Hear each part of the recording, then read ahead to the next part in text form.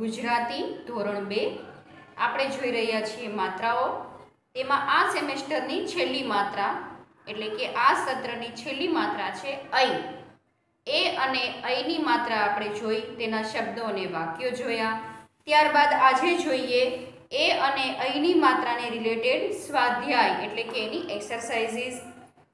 પેલું છે નીચે આપેલા શબ્દોમાં એ અને ઐની માત્રા લગાવો. ત્યાર પછી બીજી છે, ચિત્ર જોઈને વાક્ય પૂર્ણ કરો. આ છે પહેલી, ત્યારબાદ બીજી, ચિત્ર જોઈને વાક્ય પૂર્ણ કરો. ત્યારબાદ છે ત્રીજી એક્સરસાઇઝ મેની મદદથી શબ્દ બનાવો. વચ્ચે સર્કલમાં મેં આપેલો છે, ફરતા અક્ષરો આપેલા છે, તેના મદદથી શબ્દ બનાવીને ખાલી જગ્યામાં લખવાના છે. ચોથી એક્સરસાઇઝ છે નીચેના કોઠામાંથી એ અને ઐ માત્રાવાળા શબ્દો શોધો. નીચેના કોઠામાંથી એટલે કે બોક્સમાંથી એ અને ઐની માત્રાના શબ્દો આપેલા છે તે આપણે શોધીને સામે ખાલી જગ્યામાં લખશું. ત્યારબાદ છે, ચિત્ર જોઈ યોગ્ય નામ પર વર્તુળ કરો. એટલે કે ચિત્ર આપેલું છે ને તેની સામે ત્રણ નામ આપેલા છે. એમાંથી જે સાચું નામ હોય ચિત્રનું એની ઉપર આપણે સર્કલ કરશું. અને છેલ્લે છે નીચેના શબ્દોમાં રંગ પૂરો નીચેના શબ્દોમાં રંગ પૂરો તો ચાલો જોઈએ એ અને અહીંનો સ્વાધ્યાય એટલે કે અભ્યાસ એટલે કે એક્સરસાઇઝ તો ચાલો જોઈએ સ્વાધ્યાય એ અને અહીંની માત્રાના એટલે કે એક્સરસાઇઝ પેલું છે નીચે આપેલા શબ્દોમાં એ અને અહીંની માત્રા લગાવો. આપણને છ શબ્દ આપેલા છે, પણ તેમાં એક પણ માત્રા લાગેલી નથી. આપણે ઐ અને એ કોઈ પણ માત્રા લગાડી અને અર્થપૂર્ણ શબ્દ બને તેવો વાક્ય, તેવો શબ્દ બનાવવાનો છે. પહેલો શબ્દ છે ખ લ ખ લ તો તેમાં આપણે ખની ઉપર એની માત્રા લગાડશું. શબ્દ બનશે ખેલ. ખેલ એટલે કે રમત. પહેલો શબ્દ છે ખલ. તેમાં ખ ઉપર એની માત્રા લગાડતા શબ્દ બનશે ખેલ. ત્યાર પછી છે પસા. તો સ સાથે તો ઓલરેડી આની માત્રા છે. આપણી પાસે એક જ ખાલી અક્ષર છે, જેની ઉપર આપણે માત્રા લગાડી શકીએ. તો આપણે લગાડશું પ ઉપર માત્રા ઐની પ ઉપર ઐની માત્રા લગાડતા શબ્દ બનશે પૈસા. શબ્દ બનશે પૈસા. પૈસા એટલે કે મની ત્યાર પછી છે મ, દા ન, મ, દા ન નની ઉપર માત્રા કોઈ પણ એ કે અહીંની માત્રા લગાડતા અર્થવાળો કોઈ શબ્દ બનશે નહીં. આપણે મ ઉપર માત્રા લગાડીને જોઈએ. મ ઉપર એની માત્રા લગાડીએ તો શબ્દ બનશે મેદાન. મેદાન. મેદાન એટલે કે ગ્રાઉન્ડ ત્યાર પછી છે જન. જન્મ આપણે જ ઉપર એની માત્રા લગાડીએ. જ ઉપર એની માત્રા લગાડતા શબ્દ બનશે જૈન. જૈન. ત્યાર પછી છે પાંચમો શબ્દ થલી. થલી તો બે અક્ષર છે શબ્દમાં. એમાં લ સાથે તો ઈની માત્રા આપેલી જ છે, દીર્ઘ ઈની. ખાલી અક્ષર છે એ છે થ. થ અક્ષર ખાલી છે, જેની સાથે કોઈ માત્રા નથી. તો આપણે થની ઉપર એની માત્રા લગાડીએ, તો અર્થવાળો શબ્દ બનશે થેલી. શબ્દ બન્યો થેલી. ત્યાર પછી છે મ અને જ. મ અને જ. આપણે મ ઉપર એની માત્રા લગાડીએ. મ ઉપર એની માત્રા લગાડતા શબ્દ બને મેજ મેજ એટલે કે ટેબલ. મેજ એટલે ટેબલ. તો આ હતી પહેલી એક્સરસાઇઝ કે આપેલા શબ્દોમાં એ અને એની માત્રા લગાવો.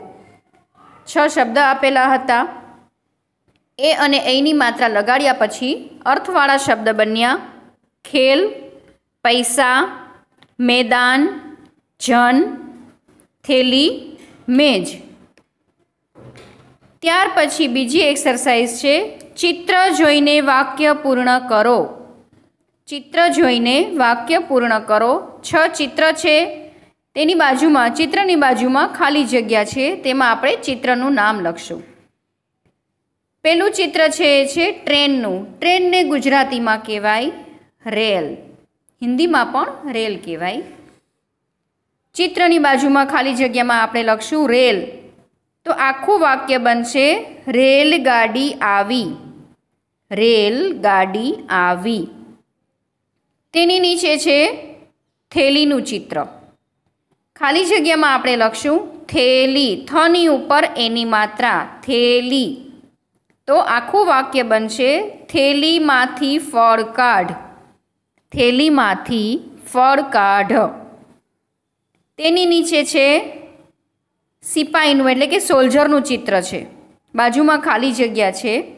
તેમાં આપણે લખશું સિપાહી નહીં લખીએ કારણ કે અત્યારે આપણે આ સ્વાધ્યાય છે એ એ અને અહીંની માત્રાનું છે. તો આપણે એમાં લખશું, સૈનિક. ખાલી જગ્યામાં લખશું, સૈનિક. આખું વાક્ય બનશે, સૈનિક દેશની રક્ષા કરે છે. સૈનિક દેશની રક્ષા કરે છે. ત્યાર પછી સામેની બાજુ એટલે કે જમણી બાજુએ સુરેશ, પછી કેરીનું ચિત્ર છે. કેરીનું ચિત્ર છે એટલે આપણે ખાલી જગ્યામાં લખશું કેરી ખા. આખું વાક્ય બનશે સુરેશ, કેરી, ખા. સુરેશ, કેરી, ખા. ત્યાર પછી છે ઢેલનું ચિત્ર. આપણે ખાલી જગ્યામાં લખશું ઢેલ. વાક્ય બનશે ઢેલ નાચે છે. ત્યાર પછી છે રાજા, પછી ચિત્ર છે મહેલનું. અને બાજુમાં ખાલી જગ્યા છે તો આપણે ખાલી જગ્યામાં લખશું મહેલ. રાજા મહેલમાં રહે છે. આખું વાક્ય બનશે રાજા મહેલમાં રહે છે. તો આ હતી બીજી એક્સરસાઇઝ ચિત્ર જોઈને વાક્ય પૂર્ણ કરો. ચિત્ર જોઈને વાક્ય પૂર્ણ કરો. ત્યારબાદ ત્રીજી એક્સરસાઇઝ છે.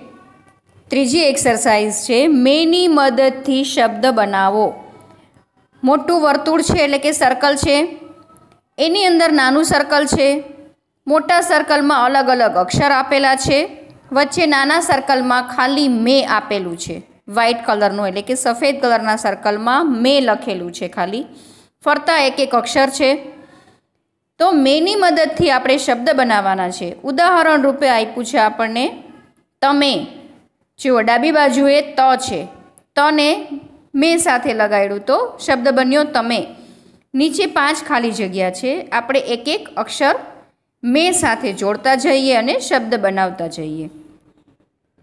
પહેલી ખાલી જગ્યામાં લખશું, જમે. જો ઉપર છે જ જ અને મેને સાથે લખીએ તો જમે. જની નીચે છે ર, જમણી બાજુએ ર છે, જુઓ. ર, રને મેની સાથે લગાડીએ તો રમે. રની નીચે છે ભ ભ સાથે મેં લગાડીએ, શબ્દ બને ભમે. ભની નીચે છે ગ. ગ અને મેને જોડીએ તો ગમે. અને ગની ઉપર એટલે કે ડાબી બાજુએ છે અ. અ અને મેને જોડીએ તો શબ્દ બને અમે. તો પહેલી ખાલી જગ્યામાં જમે, બીજામાં રમે, ત્રીજામાં ભમે, ચોથામાં ગમે અને પાંચમામાં અમે. આ હતી ત્રીજી એક્સરસાઇઝ મેની મદદથી શબ્દ બનાવો. ત્યારબાદ ચોથી એક્સરસાઇઝ છે નીચેના કોઠામાંથી એ અને ऐ માત્રાવાળા શબ્દો શોધો. નીચેના કોઠામાંથી એટલે કે બોક્સમાંથી એ અને અયની માત્રાવાળા શબ્દો આપણે શોધી સામે જમણી બાજુએ બે બોક્સ આપેલા છે. એકમાં છે અયની માત્રા અને એકમાં છે એની માત્રા. ઉદાહરણ બંનેમાં આપેલા છે. એની માત્રામાં ઉદાહરણ છે બે અને અહીંની માત્રામાં છે રૈયત. આપણે બીજા એ અને અહીંની માત્રાવાળા શબ્દો કોઠામાંથી શોધી અને બંને બોક્સમાં લખીએ. બંને બોક્સમાં છ છ ખાલી જગ્યા એટલે કે છ છ ખાલી બોક્સ છે. આપણે એટલા શબ્દ અંદરથી ગોતવાના કોઠામાંથી. તો પહેલાં એમાં એની માત્રાવાળા શબ્દો ગોતીએ. પેલું આવશે ગણેશ ગણેશ. બીજા બોક્સમાં આપણે લખશું તેતર. તેતર એટલે પક્ષી છે. ગણેશ, તેતર. ત્યારબાદ કેસર. કે સ ર ત્યાર પછી છે શેઠ. શેઠ. શેઠ પછી જેઠ. શેઠ, જેઠ પછી રેત. તો એની માત્રાવાળા બોક્સમાં ગણેશ, તેતર, કેસર, શેઠ, જેઠ અને રેત. હવે આવીએ આપણે અહીંની માત્રાવાળા બોક્સમાં. ઉદાહરણ આપેલું છે રૈયત. રૈયત. આપણે બીજા અહીંની માત્રાવાળા શબ્દો શોધીએ છ. પેલું આવશે વૈશાખ. વૈશાખ. ત્યારબાદ વૈશાખ પછી નૈના. ન ઉપર અહીંની માત્રા નૈના. ત્યારબાદ મૈના. મૈના. મેના એટલે પક્ષી. મૈના. મૈના પછી જૈન. જૈન જૈન એટલે જ્ઞાતિ છે જૈન તેની નીચે નૈયા. નૈયા એટલે કે નાવ, હોળી. અને છેલ્લે ભૈયા. પછી પણ એક શબ્દ આવશે, પૈસા. પણ આપણી પાસે એના માટે બોક્સ નથી. પૈસા. તો વૈશાખ, નૈના, મૈના, જૈન, નૈયા અને ભૈયા. આ હતી ચોથી એક્સરસાઇઝ ત્યારબાદ પાંચમી એક્સરસાઇઝ ચિત્ર જોઈ યોગ્ય નામ પર વર્તુળ કરો. ચિત્ર જોઈ યોગ્ય નામ પર વર્તુળ કરો. ડાબી બાજુએ ચિત્ર છે છે હાથી નથી. એ છે ઐરાવત. એની સામે ત્રણ શબ્દ છે. ઐરાવત ઐક્ય એટલે કે એકતા અને ઐલ. ઐલ કોઈ શબ્દ અર્થવાળો શબ્દ નથી. તો આપણે સર્કલ એટલે કે વર્તુળ કરશું. પહેલો શબ્દ છે ઐરાવત. એની ઉપર આપણે વર્તુળ કરશું. ત્યારબાદ જમણી બાજુએ ચિત્ર છે એ છે મૈનાનું. નીચે ત્રણ નામ છે મૈના, નૈના અને હૈના. આપણે વર્તુળ કરશું મૈના. પહેલું નામ છે પહેલો શબ્દ છે, મૈના. તેની ઉપર વર્તુળ કરશું. ત્યાર પછી ડાબી બાજુએ વરસાદનું ચિત્ર છે. વરસાદનું ચિત્ર છે અને ત્રીજી લાઈનમાં ત્રણ શબ્દ છે. મેઘ, વેલ અને ગેલ. વેલ અને ગેલ નહીં આવે. વરસાદનો સમાનાર્થી શબ્દ એટલે કે મેઘ. તો આપણે વર્તુળ કરશું મેઘ શબ્દ ઉપર. મેઘ એટલે વરસાદ. ત્યાર પછી જમણી બાજુએ બીજું ચિત્ર છે મૈનાની નીચે, ઢેલ. ઢેલ. તો આપણે ત્રણ શબ્દ આપેલા છે મેલ, ખેલ અને ઢેલ. તો આપણે વચ્ચેનો શબ્દ છે એ છે ઢેલ. આપણે વર્તુળ કરશું સર્કલ કરશું વચ્ચેના શબ્દ પર, ઢેલ પર. તો આ હતી પાંચમી એક્સરસાઇઝ ચિત્ર જો યોગ્ય નામ પર વર્તુળ કરો. ત્યારબાદ છઠ્ઠી એક્સરસાઇઝ છે, નીચેના શબ્દોમાં રંગ પૂરો. નીચેના શબ્દોમાં રંગ પૂરો. એ તમને લોકોને જે રંગ, જે મજા પડે, જેમાં તમને ખૂબ મજા આવે એવા રંગ પૂરીને આ એક્સરસાઇઝ પૂરી કરવાની.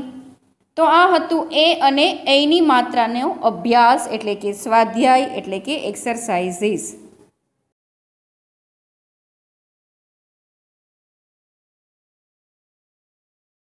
Johan.